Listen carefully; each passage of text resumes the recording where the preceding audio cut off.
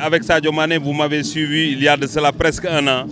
Nous nous sommes toujours bagarrés pour montrer notre position et dire que s'il n'y a pas d'injustice, Sadio est le meilleur. Et aujourd'hui, nous pensons qu'à 99%, pour ne pas dire à 100%, mardi, il sera ballon d'or. Et ça, c'est tout à l'honneur du peuple sénégalais.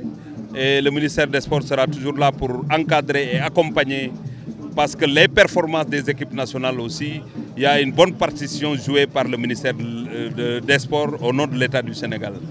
Donc c'est notre affaire à nous, c'est un compatriote et nous l'encourageons parce que c'est un compatriote qui est un exemple, qui fait du, bon travail en tant que joueur, mais qui accompagne socialement ses compatriotes.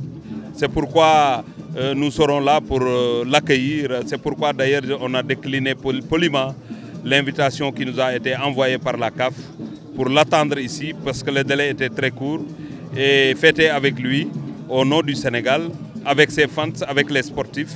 Je pense que ça c'est une performance sportive de 2019. Ça va rentrer dans l'histoire, mais au-delà de l'aspect sportif, comme je l'ai indiqué tout à l'heure, c'est tout simplement de la diplomatie. Aujourd'hui, le ministère des Affaires étrangères qui gère la diplomatie sénégalaise et le premier patron est le chef de l'État, mais le sport joue un rôle aussi extrêmement important pour accompagner cette politique étrangère.